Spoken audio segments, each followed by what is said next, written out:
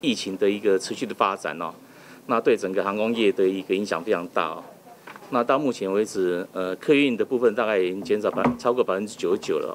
受到中共肺疫情冲击，桃园机场一片空荡荡。交通部拍板，十七日起停用一二航厦二十个登机口，节省营运成本，并趁机扩大执行检修作业。而各家航空业者也在逆境中求生存，纷纷用客机载货。民航局表示，从三月二十八日起，已经有十九家业者申请约一千八百架次客机只载货案件，国际业者占约百分之八十五。其中，长龙航空已率先通过客舱载货审核，扩增货运运能。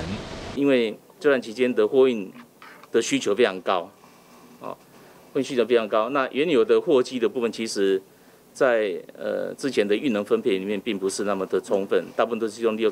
客舱的副舱载货，有些公司的哈，客机的副舱载货在做了哈，那这样的话可以提供整个货运的一个运能的提升了。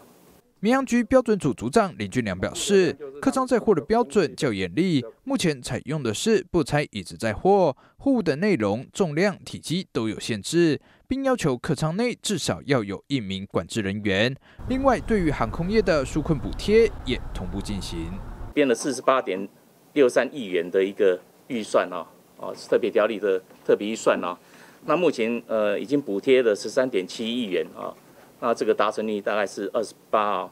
那同时呃，我们民航局跟淘机公司对于业者的一个诶诶房屋土地租金还有其他费用也执行缓收的一个呃策略啊。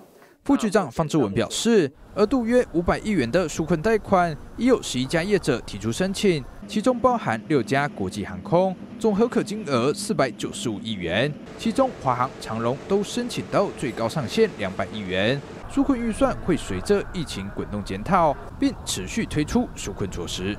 新唐人亚电视王光联黄立峰，台湾台报道。